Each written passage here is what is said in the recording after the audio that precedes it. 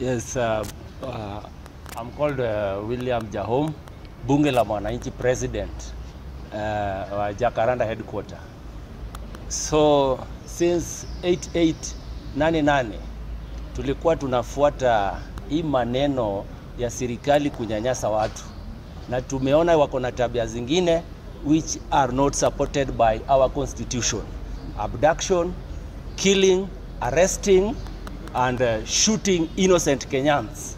Sahii walishika His Excellency uh, Jimmy Wanjigi. Wakati walimshika walimnyanyasa kwa sel. Sasa namwambia serikali waache hiyo tabia.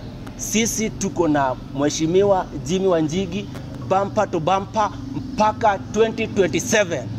Thank you very much.